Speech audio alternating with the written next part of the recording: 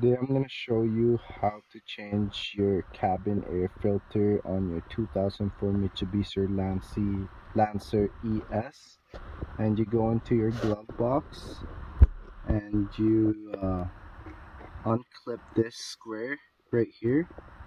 And uh, I'll show you how. I'll show you how. Okay I'll show you how.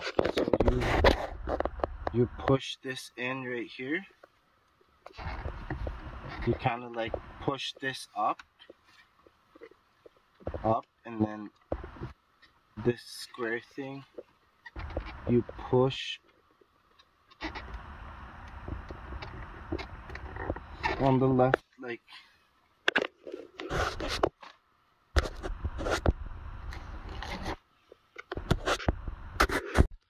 So you push this up and then you push on the side here.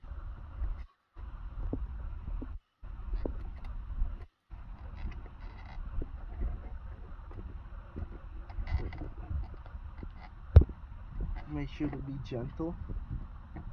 So you don't break it. There we go. Got it open. Pull out the old one.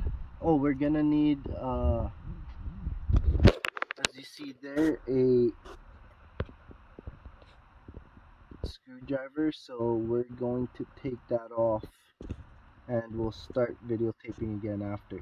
So I've taken out the two screws and now we're pulling it out and see how dirty that is.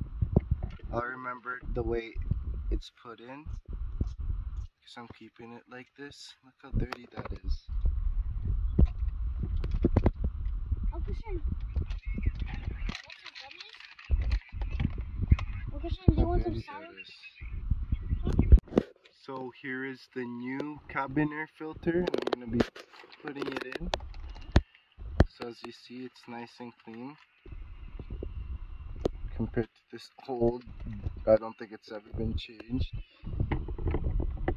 So let's put her in.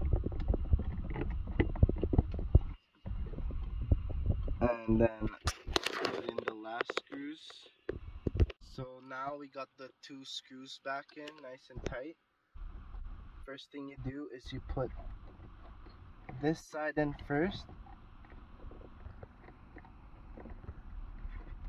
the right side in first it's in and then do the left side and then you slide this into its slot until it's pulling down on that and we're all good to go.